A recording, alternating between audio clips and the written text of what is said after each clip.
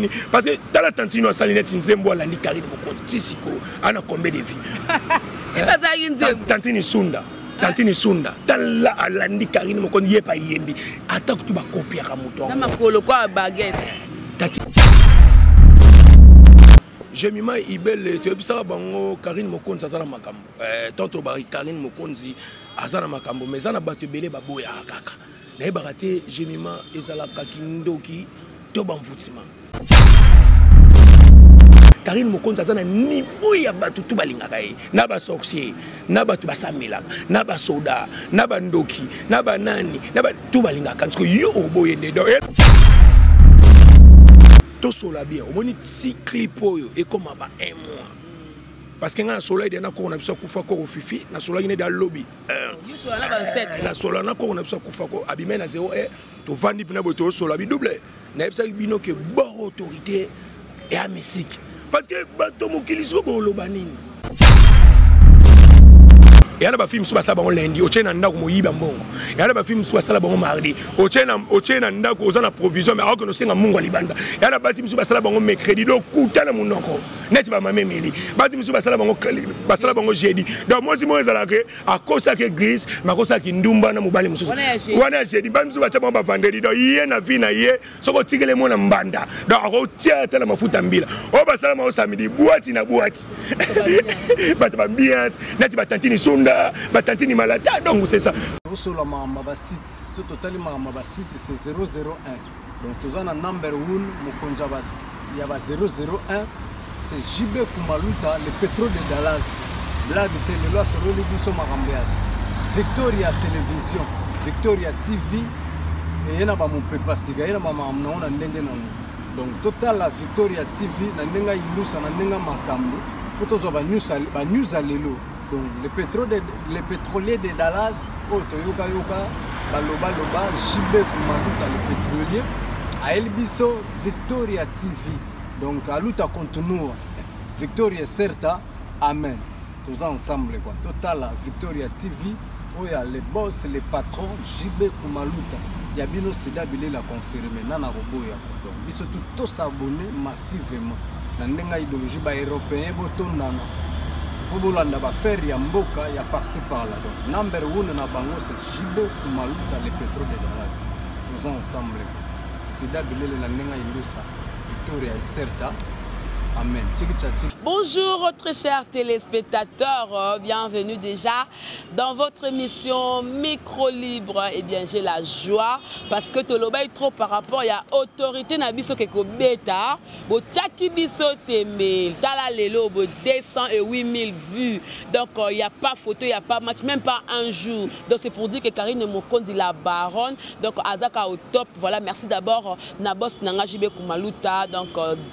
ba joyeux na yo elekaki epi ba meilleurs vœux na famille mobimba merci beaucoup à Willy Mavita le coffre fort merci eyokanaki vraiment et aussi à mon vieux Ado Senga maître sengi ngasana toujours toujours depuis la suisse donc merci mpona baso na yeux e na bato nyonso bosutelaka nga mama ivete mbiya maman chéri merci na papa mbiya mamida depuis l'enverse wana maman na ngai ye mone mpena azolanga donc en charge abi grand bébé osalaka boye na semaine oyo mpe esalaka boye mama e Mami Dai, merci beaucoup. Nous sommes les Gajema Ibele, Ogi Manzam, les silencieux de Rennes. Blo Touya, Dadi Mabim, Mokona Mombele, na Paris, donc. Euh, balama bana membre bachinois eh, bana kingakati bana gombe na gombe bato nyonso osutana karine mokonzi merci merci merci mosala esali makasi tala lelo oboye na mois d'un jour 208000 vues topesi bino merci la chine topesi merci na bana membre merci na bato nyonso tu oyo bopartage partager bo aimer bo commenter hein donc pour que loko na biso ezala na réussite totale voilà page rose hein, joyeux anniversaire à exaucer ma bibi le fils euh, aya dadi ma bibi grand jogo hein, na kati ba Belgique wana exaucer ma bibi joyeux anniversaire à toi mon petit frère que du bonheur longévité prospérité abondance de la part de ta tata Jemima Ide, le gros bébé de la presse, toza na double Rolex. tosaka analyse te tolobela par rapport ya nzembo na biso na makambo tu baoloba loba loba loba loba wana tosola yango na double rolex boni papa ouais, bonjour jemima ibele gros bébé de la presse et puis bafan tu bolingaka joye noel joye noel donc bafan tu balingaka double rolex en tout cas toza na esengo parce que tomoni déjà 200 200 208 000 déjà donc eza blague te ozomona omoni Jemima Ibele toyebisaka bango Karine Mokonzi aza na makambo eh, tonto bari Karine Mokonzi aza na makambo mais eza na bato ebele baboyaka kaka nayebaka te Jemima ezalaka kindoki to bamvutima komona vraiment boye moto azalaki ne chroniqueuse abeti fitiring lelo tala sikoyo omoni eloko oyo tosola bien omoni ti clip oyo ekoma ba un mois parce que ngai nasolaki de na koko na biso akufa koko fifi nasolaki nede alobi nasola na koko na biso akufa ko abimai na zero e tovandi mpena boye tosola bidouble nayebisaki bino ke bor autorité ya misiki parce que bato mokili siko boloba nini jemima tosola bina bien o oh, karine mokonzi karine natali na yo ta bacommentaire combien de commentaire te 2000 ya moke kokoma ata ba 4600 commentaire epuis bato oyo bazofinga so otali mpenza bien na bacommentaire gemima baza moke oyo bazofélicité mami karine mokonzi félicitation karine mokonzi donc baleki bakozala ata plus de 3000 ba 800 oyo baoboya bakota ata ba 700 ba 800 donc elakisa nini elakisa force ya artiste parce que lelo karine aza sous chroniqueuse te karine lelo aza grand chanteuse oyo oh, ke epuis tala nzembo bayembi na kofi olomide eza te ezalaki te ke oyo oh, karine neti baolakisa ye baosanti mpenza ke te ana makila aza na makambo parce que lelo na mboka na biso naloba eloko moko boye nalobaka il y a vie va e devient c'est le désir de penser chacun de nous jami maibele soki nzambe alobaka osala succès te ato force ndenge nini osala te balelo bajemima lelo bacharge lelo badefenseur lelo babiso so olobi ke oyebi double rolex te na poto oyebi gemima ibele te donc oza ndoki eh, oube oloba ata mosu oza no complexe moko boye ya tantini moko boye soki soki soki nani nani parce que tala tantini asali neti nzembo alandi karine mokoti ti sikoyo ana combien de vie eh, tantini sunda tantini sunda tala alandi karine mokondi ye pa yembi ata kutu bakopiaka moto makolo kwa baguette tantini sunda vraiment eza soni hein ntango yo omoni moninga asali nzembo yo olinga koma estce yuve moko okoka la baronne problème sikoyo balobi ke non la baronne eloko esali boye force na ye eza parce que aza na la chine aza na bana membre aso azalaki na bango te elinga esimba te ngai oyo oh, motu mwa poto abenganga bimama makambo nini ozoloba wana olobingi kaka na ntongo balobaka makambo mabongo sikoyo ntango balobaka bongo baoraisonne te na sens nini karine mokonzi ntango asala asala nini ya jj arafat yaya omoni omoni karine mokonzi balingaka ye aza la fille oyo aza oyo aza aza aza aimé aza na bafan kawini monkonzi ofo oyebaka bana omoni bachinois bana membre banani banani bana oyo ebotamaka chaque jour tala ngai amona commentaire moko boye papa moko babi ngai naza na naza na 82 ans talaka papa wana mokolo deja eza ba 80 so natala message moko boye namonaka na page ya karine abi ngai navanda na swede abi karine mokonzi oza na temps esu ya kodisitarna bato te oza na temps ya koreponda asu bato te parce que oza nayebi te talaka papa mokolo soki oyebisa nga karine mokonzi aza na niveau ya bato tu balingaka ye na basorcier na bato basambelaka na basoda na bandoki na banani na tu balingaka soki yo oboye nde donc elakisa ke eza bien ameki tantine sunda ameki atie mpe bor na ye bon yaye kuna kotala yango te lero ya naotala yango ndenge nini parce que ngai na vi nanga nalinga no bato bamviyaka bato te parce que bato bakopiaka bato bamviyaka bato bazalaka bacomplexe bato bazalaka na bilandalanda eh, ngai soko bato ya bongo na kipa bango te parce que eza complexe omona parce que so totali bie tantini sunda ayokana mpe suta alobabeta lisoni te so asali nini abi atika na diyembela na moto akari nde kari na bwaki boye nga mpe fo na bwaka mais yo soki obwaki esimbi te yaya eya blaki te jemima tosola bien baministre na biso ata balider na biso nde baza na bafélicité karine mpo nanu kutu esi te jour moko jour moko ese jour moko selo selo aka afelicitaki namoni mpe le pardre moto ya yambo mpe abaki félicitation félicitation et puis na basili te eya na bato misusu bayoka mpe balider mosusu bayoka soni mpo bafélicite karine eya nango problème te ata na prive eh, ata na prive olobi ah, ata totie kombono to maske ata eh, obika ata félicitation oyo esala bien mpo ya nini omoni jemima biso lelo bakombata biso fort biso lelo badouble rolex oyo etake défenseur biso bakomba biso oza baplace mosusu neti lelo nakomi na mola natemi na mola kaka na bandal awa fille moko baoleka so na jeep nayebi ye kutu te eh, tala bamvunsima oye fiyana mpena abimisa mpena mutu na ye ko abela yo rolex yo ti lelo otambulaka makolo ah. azali fan aza mpe ka chroniqueuse eh, te wana aza chroniqueuse te aza fiere nde namoni ye bongo akosaka te aza mpena propre atye tenti ana forme kaka neti badanseuse abimi mpenda tala aza na mobali na ye ma abimi na jeep mpo abelaka komba double rolex na comprendre abi ah, do tokoma na basuccès mais sikoyo ese so moto akotambola makolo te donc so oza na voiture jemima donc fo bando tiango na poche okende boye fo tambola te totika motema mabe so kolingaka karine mokonzi te ntango mosusu karine mokonzi yango mpe ayebi te ntango mosusu neti fille wana oyo afingi nga wana yo double rolex ti lelo tambolaka makolo ntango mosusu nayebi ye te nayebi vi naye mais ye ayebi nga donc elekisa nini te topesa conseil soki yo olingano karine mokonzi jamais na motu to na mokili akolingaka karine eh, po yo jemima mpe nde oza boza na bafani no mpe balingaka yo eya neti nga mpe double colex na na bafani eza na bato mosusu soka moni double colex mbaa moko na émission nga nazikisa biloko ebele mpe na bapoto ah! na na vie na nga mo boye bos demu na autriche aba ah, double nga naza fani na yo ya kosala te eya na basere na nga misusu neti bato lokola banani petite sere na nga propre yolandi mbala eh, tentika mwasi lokola papier duplicateur tano niveau aba ah, vie mpo nga nazalaka leki na yo so nazalaka leki no te eh, mais vie nga na nga nabala yo tala soko leki na nga oloba bodo elekisa da nini aza na bolingo ya yani aza na confiance ya yani okoyo majini te géma biso soki tola bafani na bongo mais petite sœur propre donc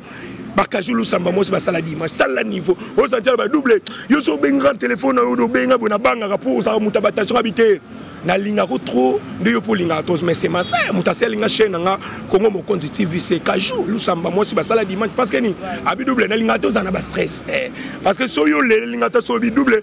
kajou bayibi nga telefone abi esalaka nga mpasi journal nana olala te parce que toza na bafani parceke yo bino vi na bino eza kaka botalaka vi ya karine karine akende osomba mungwa otali karine akende okiboye olandi siko yo mokolo nini baotala vi na yo Voilà donc euh, toza kaka wana na double Rolex na remercier bato oyo basoutenir Karine Mokonzi et puis euh, fête à Karine le 4 janvier salle wana eza contenir 500 places mais toza jusque là 450 déjà eza déjà la bato etikali 50 places moto tokolinga ke oya na fête ocontacte d'abord maman Nana Mokonzi maman Kabibi Mokonzi papa Mia Tembo papa FMI Maman Sarah de Lyon, euh, Maman Liadji Mokondi, Maman Maria Mokondi, Maman Sylvie Mokondi, Maman Denise Safi Mokondi, Maman Dame Ferme Mokondi, Maman Claudine La Grace. Donc, bato wana soki obengi bango par rapport ya kozwa place et puis euh, okozwa na invitation na yo mbala moko kua voilà merci mato nyonso boutalaka biso toza wana ensemble avec euh, double rolex To meka pena ko sola et ça la vraiment vraiment vraiment vraiment plaisir hein? donc euh, prince sprl euh, depuis dallas yo yango wana mais double rolex bato bani kodecortike clip batali clip babi clip oyo karine nde oza bongo obini na yo te ozosote sote kaka obini te de 1 de 2 perruque olati na otiaki na mutu eye kitoko te donc balukaka place mabe ezali ko mpo ka bamona comme si makambo yango esimbi nango te bon omoni nakoloba nini jemima ibele nayebi soki yango na bina vina nalingaka nao bacomplexe te nalingaka baflatere te nalingaka bato mpe bakosaka te nga double rolex lelo na poto so otali bemission tu nasalaka nabwakaka ata mosuka 5 personnes parce que bato nazala na confiance na bango dabord nga na vi na nga nasengi nalinga na mutu d'abord mpona mpona mpona mpona mpona nalinga mutu mpona profite oyo tobengaka na français amo cordal omoni bato balingaka mutu karina atya perike atya perike atya yaki akata kovo ya yo nini eyeya omona teke eza kindoki sikoyo clip wana tosola na bien ese clip wana eza mabe et puis clip aso olandi yango eza système ya afrobeat eza ba clip mozo olandi pene oki mabanga pende bwaka mitina te donc eza clip oyo eza baomema yango ebetala ba trace donc eza musique internationale minute na peza mokuse eh, kasi ebeta po trace tv d'abord eza non na ba 4 minutes so osali eloko ne eleki 6 minutes na trace tv ebeta te faut bo comprendre karine ndenge aza na aza coache parce que auti na auti na chronique akemba amona miziki omoni miziki eza kuanga te lelo miziki eya na bato mosusu babotama na miziki ta mosusu na kina yemba fort anyokwami na miziki mais siko karini baoapprendre ye donc aza moto d'abord baokoce ye mais eloko asali quand même bandeko na ngai ata kutu bolingaka moto yango te moto ayembaka te mm. asali eloko abepe ayembi na kofi quel star kofi olomide eza na bamise ebele jemima na betolo lisolo ti akufa pa yemba na kofi te eya na bastar ebele kaka lelo balukaka kaka anaki na sila me so asali fiti mingi na kofi eh, ya kofi olomide aza misanso wana te papa wemba ekumani basala fitiring ya wekop tala niveau etekama epuis nzambe wana ti lelo soki otyango bato basepelaka donc eyelakisa ke oyi te yima kozala na karini suka talaka verambo abi donc elengi ya karini suka te babi kofemele bafituni to asala na basi esimbaka te asali na claudi claudia bakisi esimba te asala na sara fiona esimba te karine nde mpe kofi asali na fituni esimba te donc bakokompare karine na sara fiona karine na, na claudia bakisa nayebi biso moi nde tozala boye na vie mokolo yo okozwa jemima eza mokolo double collection akozwa te omoni eza na bafilm so na mpe so na liseso mpo bato basekaka trop ngai nasekisaka trop eya na bafilme mosusu basala bango lundi otye na ndako moyiba mbongo eya na bafilme mosusu basala bango mardi otye na ndako oza na provision mai aokende osenga mungu ya libanda eya na basi mosusu basala bango mercredi do okuta na monoko neti bamama emeli basi mosusu basala bango basala bango jeudi donc mwasi moko ezalaka ke akosaka eglise makosalaki ndumba na mobali mosusu wana ya jeudi basi mosusu batya bango bavandredi donc ye na vie na ye soki otikele mwana mbanda donc akotia ata na mafuta mbila oyo basala mao samedi bwati na bwati bato bambiance nati batantini sonda batantini malata donc c'est ça mwasi basala dimanche nati bakajulusa mosantike aosola na motu mais azopesa conseil tala babi c'est lui qui trouve une bonne femme eh, omoni so karine akipa ani se karine osali mabe ofinga ye ayamba motu tu donc elakisaki aza na bolingo epuis banda lelo ngai apesa karine koma mama kokakola mpo te zwa mikolo nango mobenga sikoyo karine mokonzi mama kokakola mama maria mama na yesu ngam napesa yesu na batise mama na yesu mama na yesu te mama na yesu bo motema wana nasala eh, yaya yo nayebi ke jemima so motema yo ozala nango yo osilika ti yo olingaka ko baje te ya natika double mpe nalingaka baje parceke bango ntango bato wana basala fitiringi na kofi olomide wana esimba te mpo tamsu bana bampoka tolobaka bien te tozola babiso loba rolex talatala katolika omete na chapelela ya mamba orati eh, nga na kisi te nga na makambo neti mikolo bapeti mo babimi omeki bapeti ebele na silisa bango oyo babaki baret ya bango mais sikoyo nayebike longo na nzela di eh. bapeti ebele nakotanga bango ya ngai na miniti osuccès nakoma nao nakotanga bakoma bapeti ebele te oya na peti mosusu omona okotanga koma oyo ogangele boye mpaka okufa ekomi ongamu na lio omoni bango bapulu nde ebimi eh. kaka bilobaloba bajournaliste ebele oleki na tv bomeni tala lelo ekomi baproblème donc eyelakisa ke faut tozala na bamaîtrise ntango tooleka na bateve donc mikolo oyo nayebisi bino eza kaka ke longo na nzela di eh, jemima ibele aleka te longo na nzela di longo na nzela jemima ibele aleka to nasi naleka deja nakota mpe nabandisa eh. makambo sikoyo balobi bato basala baanalyse baolukaka baparti moka ya mabe basalaka Karine Mokoni nde nini Koffi Olomide akoki kodepense lo mbongo makasi bongo soki ayona Koffi Olomide okomi na relation ngai mpe nayebi oh ngai nakoluka role avant ngai nasala na analyse no ya ngai mo nde boyebi ngai nalinga nasalela bino baanalyse nayamba na rolex Karine Mokondi abima na Koffi asala fitiri na kofi kofi azala nganga kofi azala ndoki estce etali kari mpo kakini aza na yesu aobanga ndoki ndeni we omoni nakoloba eloko moko boye ya gemima ibele omoni makambo oyo esuka te babiso toya baprofete ngai loba yango de abanda kala na yosaki karine omoni yo moto acomprendre vie na yo ezaka nzambe parce que motu oyo atiaka point ya motu na vie ezaka nzambe donc bango nde baza wana natuna bango nano bango bakomi didiston bango bakomi mamami bango siko ekomi lisusu oyebi kofi olomide eza na combien de musicien balingaka ye te na mboka na biso ebele mais kofi olomide ezalaka kofi motu mabe kofi stru mabe karinino karine oyo nde bando oza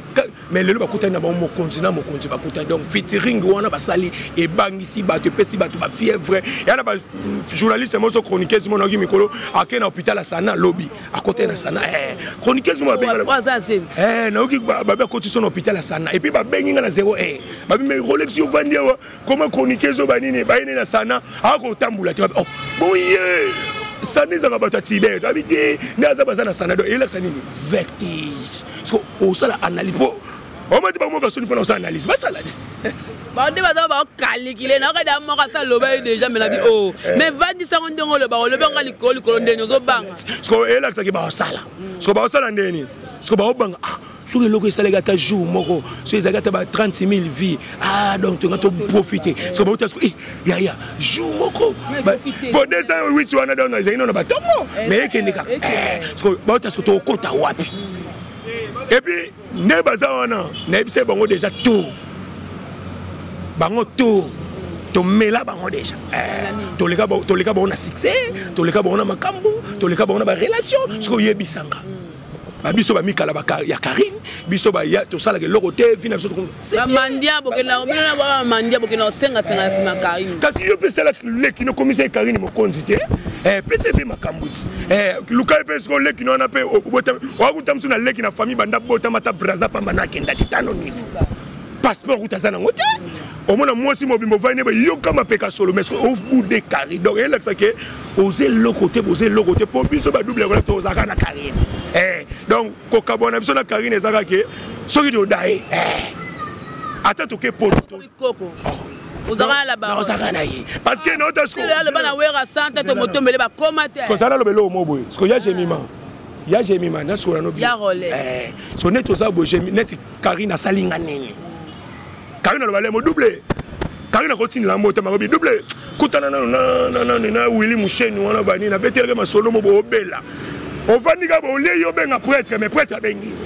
Abi double kota na paloke mo kabilo tamsu 300 ya ya tozala pena reconnaissant. Oh, yana bande ona msu ba otanga na poto ba bamba na mama leki bana mama kuluta ta chemise apambo na tindela ngati. mais Karine Mokonzi tango mosusu naloba ah mami na mpiaka mais abi na Rolex mwana futa kombe taka teji place atanga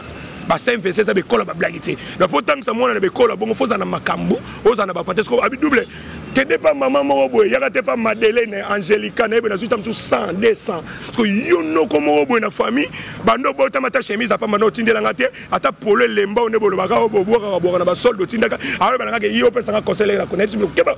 keba Ok. Moi je parle. Moi je parle, toi tu parles. C'est quoi ça oh.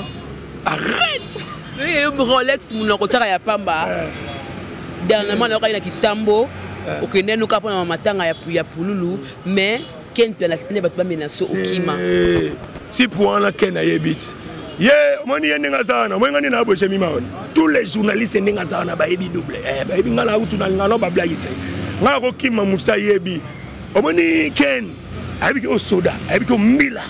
pacho ayebi efi kutu moto aleki bango na mbongo aza na bapale me tosala baguerre na pacho efi akoka te bongo ken ken aza na ancien garde ya bilima na mabwelo tano niveau tano niveau mpe kadogo eh, eh, bayebi tozali na cinquantenaire ntongo ebembe bato mpe bakana enga ti babiki o oh, double tokokutani na cinquantenaire aomona nakende cinquantenaire boti saisai oya bani ntango akiti alati bor wana rouge na bapretel ngai azali na fiston saisai epuis saisai moto omonake star osantika asalaka impact mpo ngai mononabakomande bawololaki ye te bakosi ngai aloba verité ntango fiston nani eso bakoti eso baye bato bayambaki ye mpe mai ntango fiston saisai akoti ngai aloba verité eh, donc asalaki paniki ya kosala ngai mona santi na bia mbamo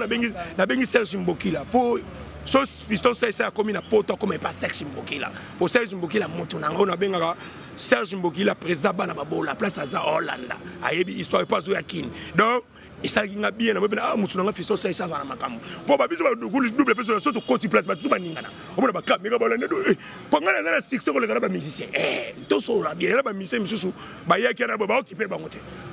mais ntango ba double bakotaka oza eh! donc toza na makambo parce que tozala na karine mokonzi gemiment fo toloba yango toza na succès na poto ozomona mais eza te totyaka baorgueil eza te tolobaka toleki bato eza kaka ke toolakisaka bango tozalaka na karine mokonzi oyo bango baboyaka me biso tomona kozala na karine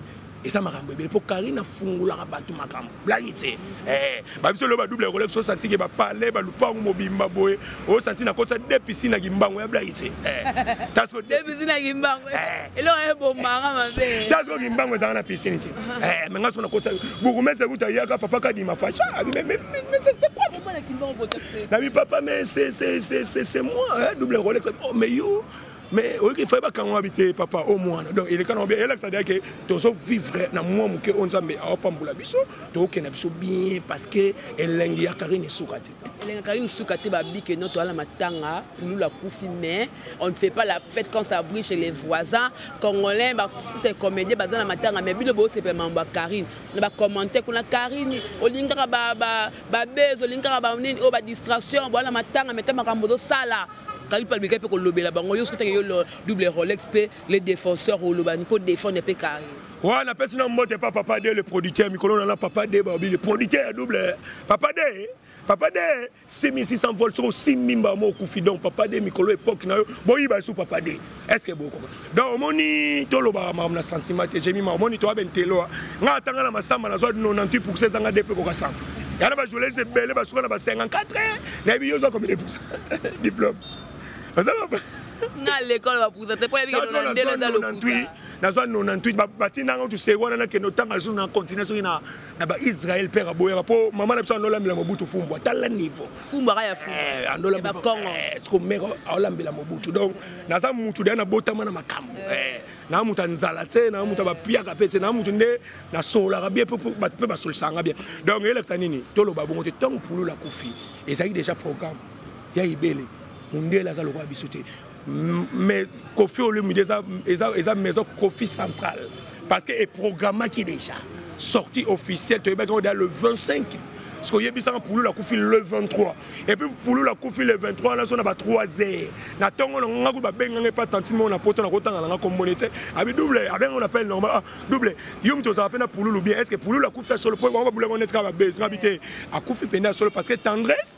asali video asali na video mo atie video moko azolela na groupe ya le défonceur donc akufi nakokaki kaka te natala na brosaka ya pamba nakoka te nakota salle de mele te nalati bilamba mbala moko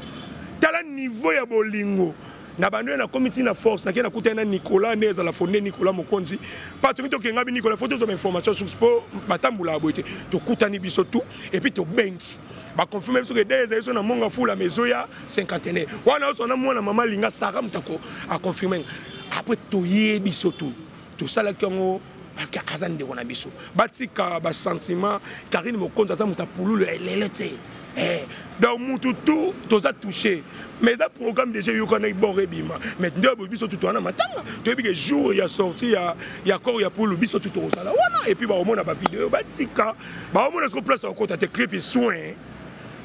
karine kanwe alati kitoko baverchace ebimi baverchace echace 2020 ya blage tomoni bilombo ba karine alati wana mm. tala bana poto bayebi ngai nayebi collection mm. ya blage te soki osalaka bulo te osimbaka mbongo te na poto te okosomba te ozalaka problème mais botikaka motema mabe ata karine yango bolingaka te so susi emni ezala ni karine akufa bino botikala natuna mino ba question ta nde bavandi baoseka leo bazape eh, koma koma na yo koma na yo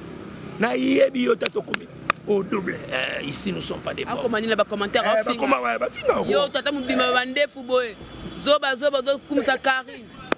so ofinga zoba zoba ata mosunga na vivre kuna kini na vivre mie koleka yo donc toi nde moti de elakisaka ba jaloux nde bakozalaka bongo biso mpe tozalaka bongo tokosala bulo na biso mpo biso mosala na biso yango mosala na biso eza micro nasali mosala na ngai na suka papa vegas attaché na biso papa vegas motema ya majaki majaki na biso donc esalaka bango bien to bamona double oleka obobi ah double te wana makambo jemima tokende na bango kaka bongo eh. voilà merci beaucoup tokomi vraiment na, na, na suka ya émission na biso yo sikoyo pronostic na yo eza combien pona pona 208 mille jusqu'au yosko ota combien nga siko etangi na solo na koko fifi koko na biso kufa bonga na invokaka ye eh, apa nzambe mponga na moto ya katolike eh, koko na biso mpe na ye moto atalisa nga makambo donc nayebi soki ejemi momoni boko ti ekoma une semaine etaki nga double nalobi tokobeta ba 3 million ba 4 million kaboro naoloba na yo nga na moto naza croyant naza chrétien epuis ngai na kontaka na kisi te nayebi ke yango na loba bino ke iya viva et devient se le dessin ya trace chacun de donc dessin ya moto eza na maboko ya nzambe so babiso bakoleki babula ah, jo aza na kisi jo ndenge nini nde nabanga te nabangaka te epuis nafingaka te ngai nalobela nde motu verité mpo omona ngai na ndako no te na yo olia te na yo sengo chemise te nakobula yo aso mpo boyi ngai tokutani boye nakoboya yo ngai nakoboya koleka yo moko donc keba botika makambo na biso eh, botika badefense botika bacharge tosala vie na biso parce que nde tovivre wana motu moko te oya kocontribue na vie ya gemima bino bozangi mosala bino kaka kotongaka kofika epuis gemima otala kitoko tala journaliste ofai na journaliste eyoka sola parfait opawoli parfait te n'importe quoi dédicace bato basoutenir yo opesi na numero na contact ouais napesa mbote na bani papa de le producteur papa de semi 600 volts de et puis na pesi boss demu na Autriche Serge Mboki la sadi président bana mabola tout Kajulu Samba mwasi basala dimanche balobi Jessica Mizelo balobi mwasi asala idée ya Western Union na pesi mbote et puis na pesi su mbote et pas ya venanga vécu à Siruli Moucheni code mondial ekataka te mpe ndeka tosolai na yo mambo eza na ozela kaka mpe yo momoni bosa mboka deja na karine carré makambo mosusu tokoloba ngo na batv te puis naomona lisusu nani lisusu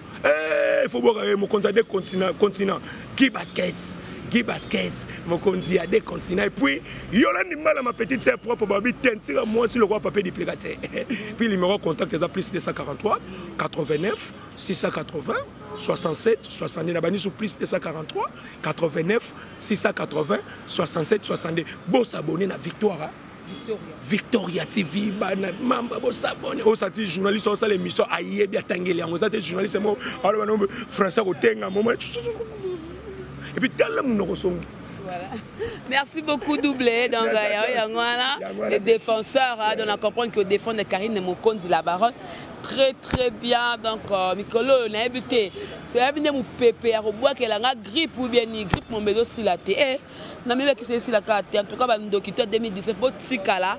2020 nakota mpena sans grippe nakota na bonne santé nakota ma bien problème mm. s'il vous plaît naza na chanteur mo mikolo na osana ebe émission mpo double afula eh, mika chance babi koko ya bapapa wemba koko ya papa wemba aza na age ya 16 ans donc mikolo ba émission tu bomona bana poto bomona ye azoyemba ya danger epuis kala mingi te akokota studio tosala na émission moko lelo nayebisi yo koko ya papa mbataka moto ana 16 ans donc nayebi te mika mika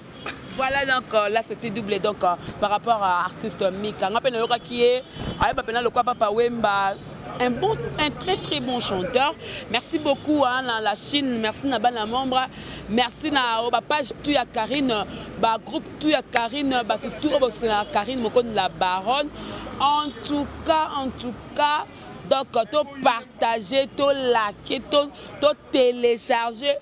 nzembo oyo en tout cas si tokoma une semaine bato balobake tosimbi kisi mpo tozalaka mpe na kisi yango ya solo voilà donc euh, merci beaucoup na bos na nga JB Kumaluta, le vrai euh, pétrolier de Dallas, c'est le boss charismatique. Et euh, aussi, euh, merci beaucoup. Nyaye Dadi Mabibi Mokona Mombele, donc papa n'a exaucé Mabibi, donc Lelo, le 26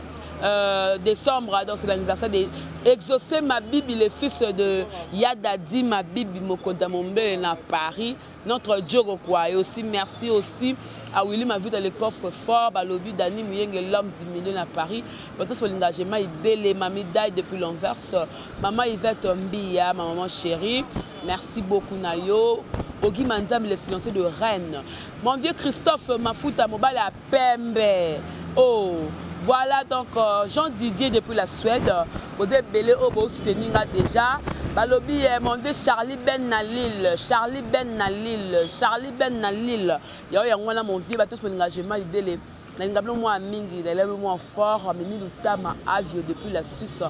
bato na nga tout oyo ya kati je vous aime bien je vous adore lol merci mpona baimage nasala easy merci mpona montage Mon boss encore une fois merci, c'était Gemma Ibele, le gros bête de la presse congolaise. Donc le lot grippe ezo sakana nga mais je me suis forcé pour kala sala musala voilà. Ça n'est fini pour aujourd'hui, on se retrouve prochainement. Au revoir. Osolo makambo ya basite, soki totali makambo ya basite, c'est 001. Donc toza na number one mokonzi ya ba ya ba 001 c'est JB Kumaluta le pétrole de Dallas. Blague te lelo asololi biso makambo ya Victoria Television, Victoria TV eye na bamopepa sika ye na bamakambo nango na ndenge nango donc totala Victoria TV na ndenge ayindusa na ndenge makambo mpo tozwa banews ya lelo Donc le pétrole de, le pétrolier de Dallas oyo toyoka yoka baloba loba JB Kumaluta le pétrolier ayeli biso Victoria TV donc aluta continua Victoria certa amen toza ensemble quoi totala Victoria TV oyo ya le boss le patron JB Kumaluta ya bino sida bilela confirme nana koboya biso tout tous abonne massivement na ndenge idéologie ba européen botondana po bolanda bafaire ya mboka ya parci par là donc number one na bango c'est jb kumaluta le petro de dallas toza ensemble sida bilele na ndenge indusa victoria iserta amen tiki